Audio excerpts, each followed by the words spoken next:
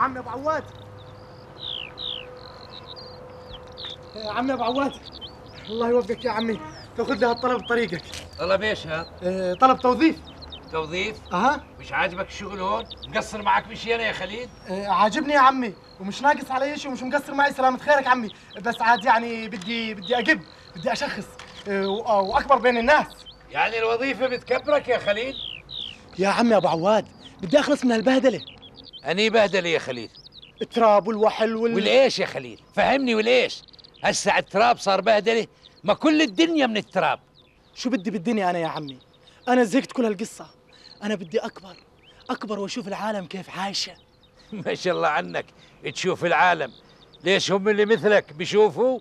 لا لا لا يا عم أبو عواد كل خم اسكت بلش تطلع عصبيتي يا خليل عاد اسكت يعني يا عمي ما بدك تأخذ لي إياه يا عمي وين آخذ لك إياه؟ على عمان ومن هو قال لك إني رايح لعمان؟ نجاح. إيه، نجاح بنتك. صبحت علي وقالت لي إنك رايح على عمان. لا مش رايح لعمان. أنا قاعد هون ومرتزي هون ومش طالع من هون فاهم؟ يعني أفهم من الحكي يا عمي إنك ما بدك تساعدني ولا بدك تأخذ لي هالطلب بطريقك على عمان من مرة؟ وبعدين معك. طريق عمان من وين؟ طريق عمان من هون. من هون. أها. وزقم سيارتي متوجه لوين؟ لهناك. لهناك. اذا أنا رايح لهناك. وأنت قب من وجهي وروح من هون بشي.